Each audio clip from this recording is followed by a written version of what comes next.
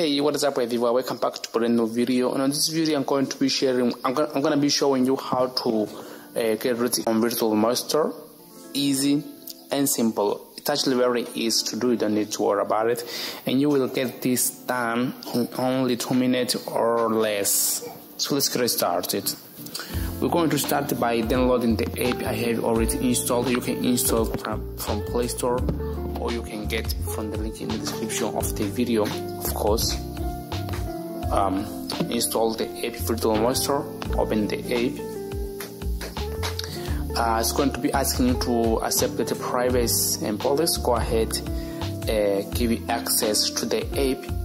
You want to click on create VM to create a ROM. I'm gonna be using Android 7 you can use Android 9 or 5 resolution I'm gonna be using this one. Start VM like that the virtual master will start installing the file system as you can see. Uh, just needs to be patient. It's gonna take as you can see one to two minutes.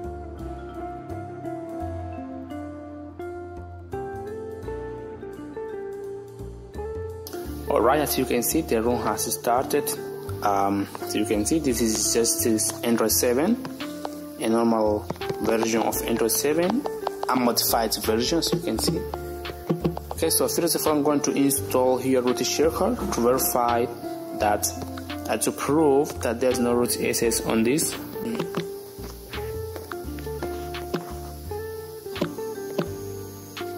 Alright, root, root checker installed. Open the root checker, verify root.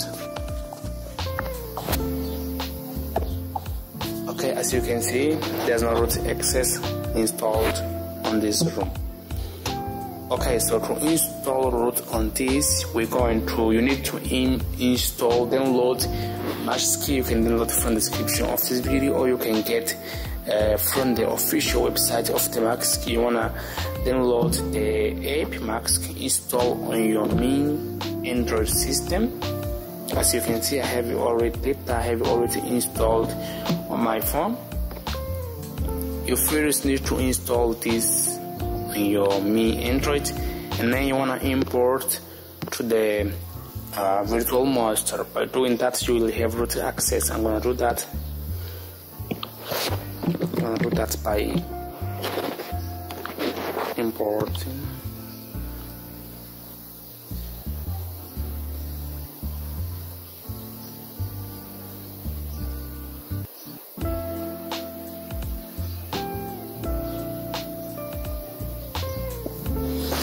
okay. As you can see Magisk installed open the Magisk app of course you're gonna you, you gotta be connected to the internet in order to make this work.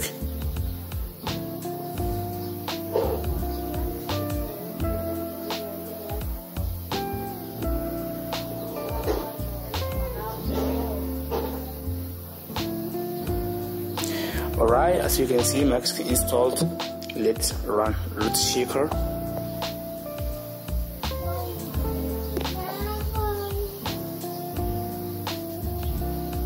ignore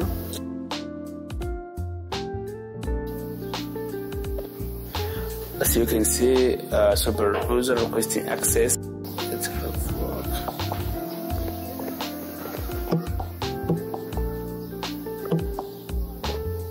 you can see super user requesting access. You wanna clicking on grant. By that uh, you will enable root access on your system. Very easy very simple. Okay that was the video stuff from here. I hope this video helped you out. If it did help you please subscribe active the notification to get notified about new video. I hope to see you on my next video